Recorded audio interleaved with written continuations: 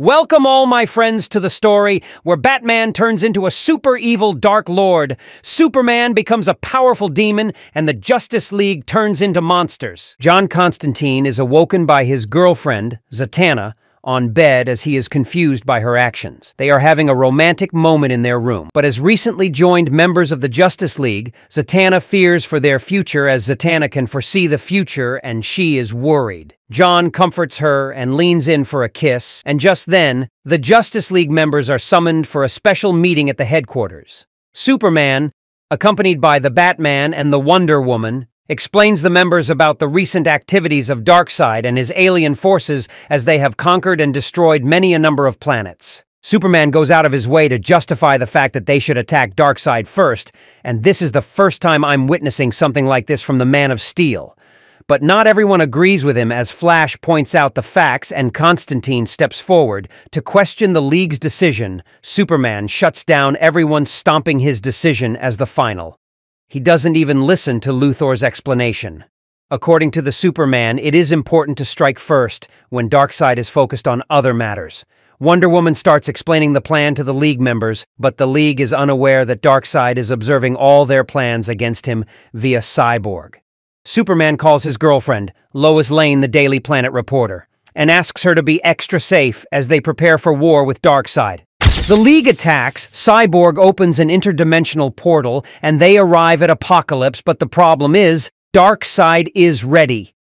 Thousands of Darkseid's half doomsday, half demons attack their ships, and they have no answers. We fast forward two years later, Darkseid's forces have taken over Earth. The world's population is considerably diminished, and much of the Earth is a wasteland. In a London pub, Constantine and the demon Etrigan are attempting to drown their sorrows in bottles of whiskey as John Constantine blabber out nonsense a deep into the night. They are approached by Raven and a severely depowered Superman. Constantine is surprised to see Clark and slaps him because they lost everything going according to his plan.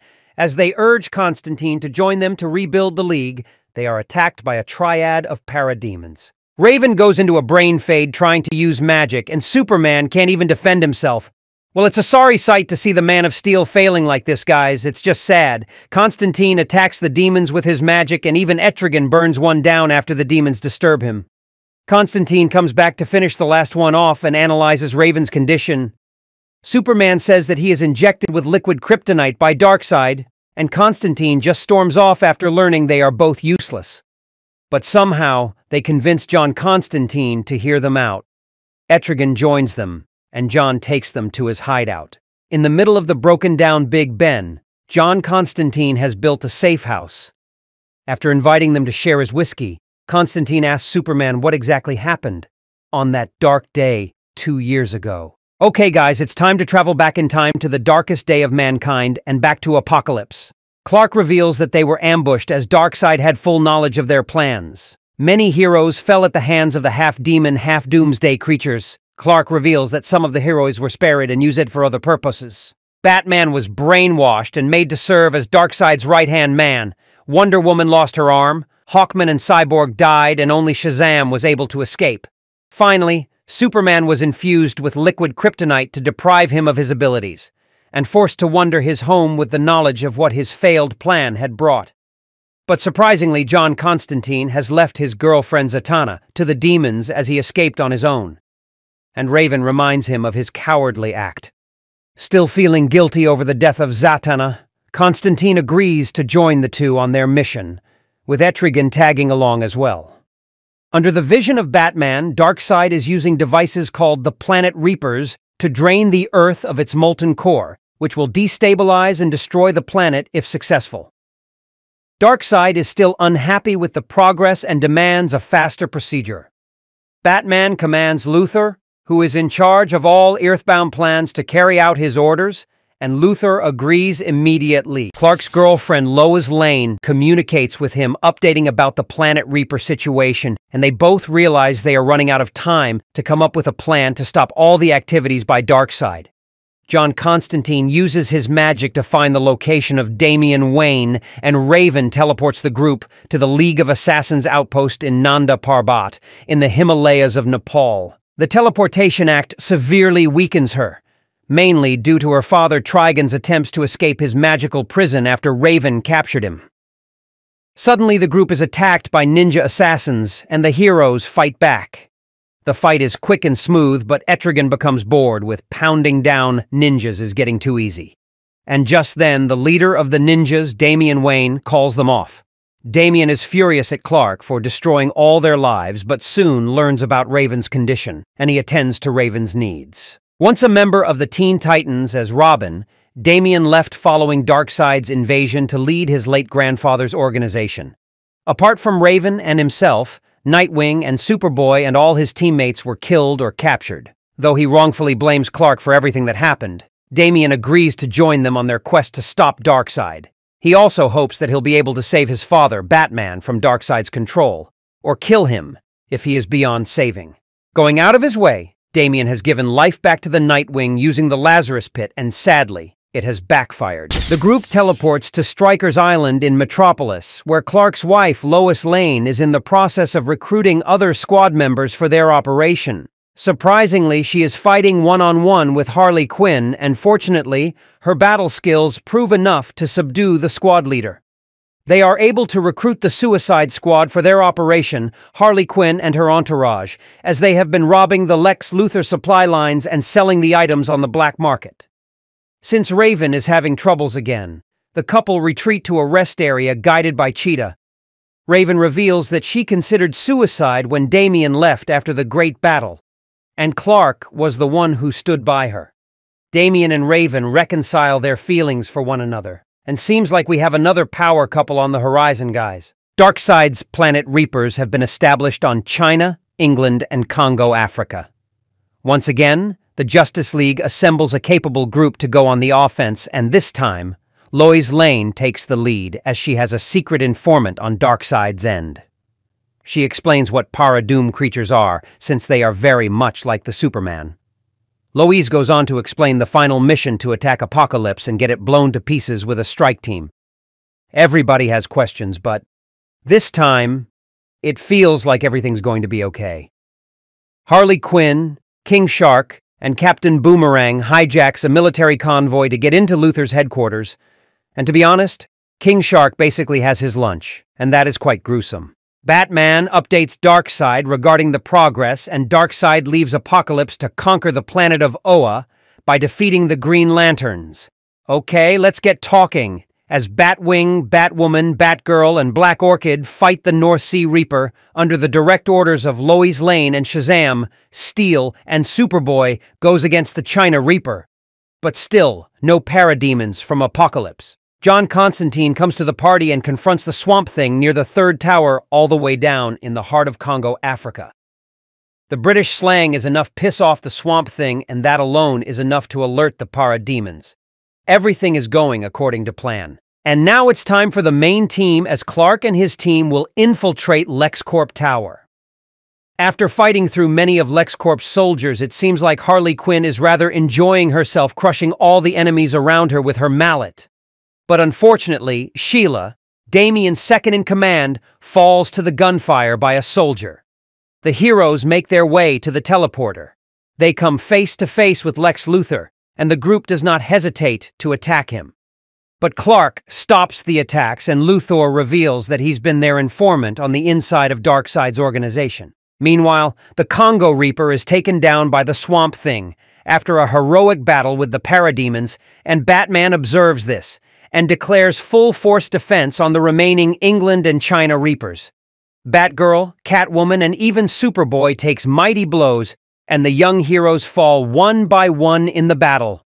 Raven gets Constantine to promise her that he will take her soul if her father overpowers her when they go to battle.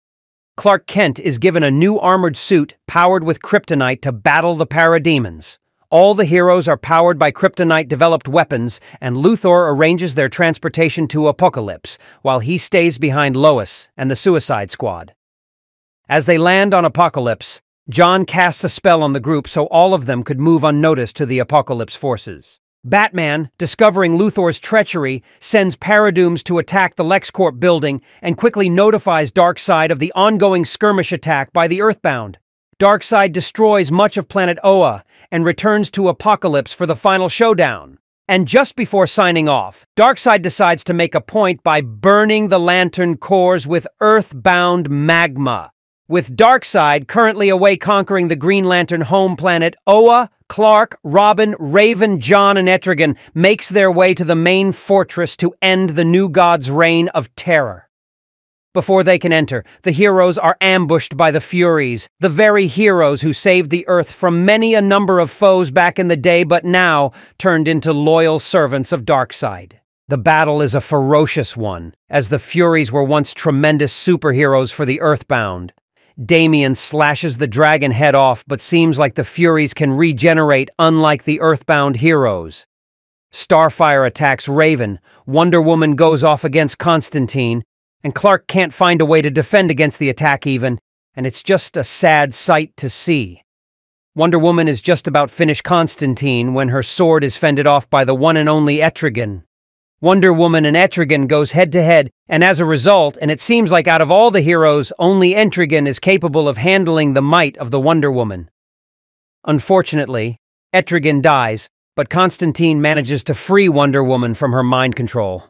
Unfortunately, the great Amazonian returns. Now, the real battle begins as Princess Diana, with her Apokolips powers, and Amazonian powers battles the Furies with ferocious might. She stays behind to fend off the former heroes, while the remaining four head inside. Back on Earth, Lois Lane, along with the Suicide Squad, prepares to engage with the incoming parademons, but they are in for a nasty surprise as the number of parademons heading to the LexCorp Tower is just too many to handle.